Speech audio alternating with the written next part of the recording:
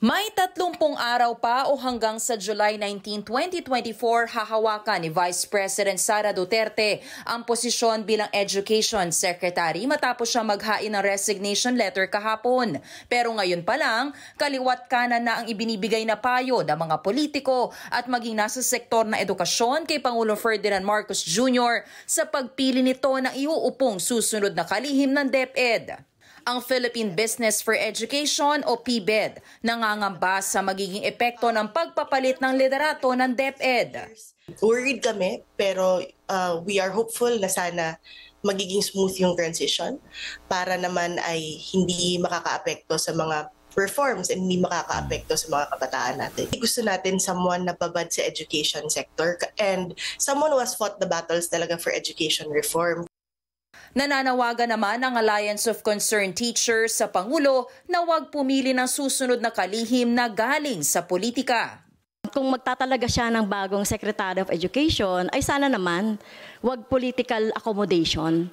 Baka kung sino-sino na naman yung kanyang italaga dyan na walang competence, walang malalim na kaalaman sa educational system. Maybe not in this Mungkahi naman ni Manila 3rd District Representative uh, Joel Chua, bumuo ng selection committee ang Pangulo na siyang titiyak na ang mapipili ay may mahusay na track record yung mga awardee ng mga Presidential Lingkod Bayan Award, yung mga nasa 10 outstanding young men, 'di ba? Yung uh, Metro Metro Bank Outstanding Teachers Award, yung mga recipient ng mga ganitong award or the president can choose uh, from the community of public uh, school teachers who have shown uh, excellent records in terms of integrity, Mahalaga para kay Congressman Roman Romulo, ang chairperson ng House Committee on Basic Education and Culture, ang nasimulang curriculum change, lalo na't lumabas sa Program for International Student Assessment o PISA,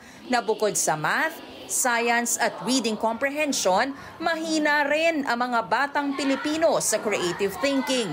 Ayon sa PISA, sa higit anim na pong bansa at ekonomiya na sumama sa assessment noong 2022, kabilang ang Pilipinas sa mga kulelat pagdating sa creative thinking.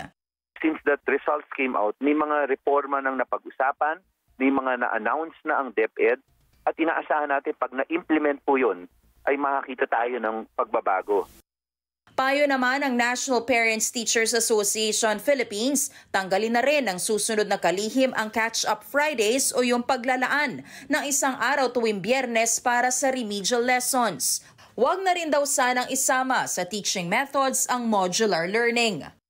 Merong module kasi. Module. Yung module kasi ma'am, uh, by the, pwede nating i-google po lahat eh, mga sagot eh. Kaya sana po iwasan na natin yung modules direct face-to-face na. Sa ngayon, nakatutok ang DepEd sa 30 araw na transition period. Joyce Balancho, ABS-CBN News. Tuloy-tuloy po ang ating pagpapatrol sa bayan mula lunes hanggang biyernes sa TV Patrol. Alas 6.30 ng gabi hanggang Sabado at Linggo sa TV Patrol Weekend. Sa bago nitong oras, alas 5.30 ng hapon.